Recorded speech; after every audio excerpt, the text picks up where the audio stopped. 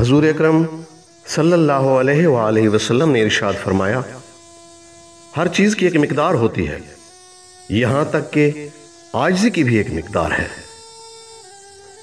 ہر عالم علم کا بھوکا ہے۔ ہر چیز کی ایک بنیاد ہے اور دین کی بنیاد فہم و تدبر ہے۔ ہر تصویر یعنی مجسمہ سازی حرام ہے اور تصویر دین میں نہیں۔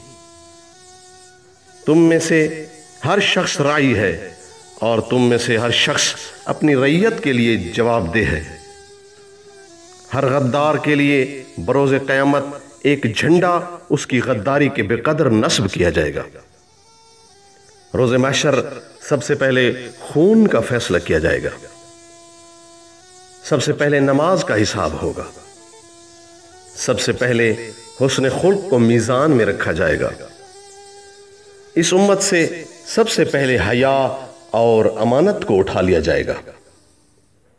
تم اپنے دین میں خرابی کی ابتدا امانت سے کرو گے اور انتہا نماز سے کرو گے۔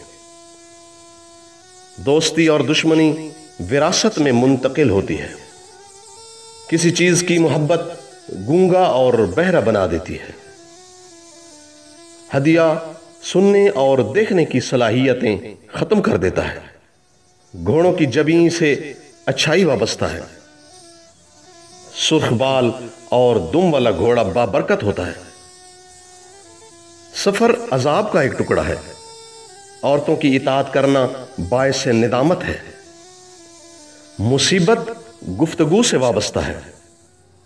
روزے آدھا صبر ہے ہر چیز کی ایک زکوٰۃ ہے اور بدن کی زکوٰۃ روزہ ہے۔ روزہ دار کی دعا نامنظور نہیں ہوتی۔ موسم سرما کا روزہ بہترین غنیمت ہے۔ مسواک انسان کی فساد میں اضافہ کرتا ہے۔ امام یعنی پیش نماز زامن اور معزن امین ہے۔ قیامت کے دن معزن کی لمبی گردن ہوگی۔ قیامت کے دن میری شفاعت گناہ کبیرہ کے مرتقب افراد کو نصیب ہوگی۔ اللہ کا ہاتھ جماعت پر ہوتا ہے۔ خاموشی حکمت ہے، لیکن اس پہ عمل کرنے والے کم ہیں۔ رزق موت کی بنسبت انسان کو زیادہ تلاش کرتا ہے۔ معیشت میں اعتدال برتنا کسی تجارت سے زیادہ نفع بخش ہے۔ بزدل تاجر محروم رہے گا جرت مند تاجر رزق حاصل کرے گا۔ حسن اخلاق برکت ہے اور بد اخلاقی بد نصیبی۔ مکر و فریب کرنے والے دوزخ میں ہوں گے۔ قسم، حلف لینے والے کی نیت پر واقع ہوگی۔ حلف کا انجام یا حلف توڑنا پشیمانی ہے۔ جھوٹی قسم گھروں کو تباہ کر دیتی ہے۔ جھوٹی قسم سودے کا سبب لیکن روزی کی تباہی کا سبب ہے۔ سلام ہماری ملت کی پہچان اور جان و مال کی سلامتی کا سبب ہے۔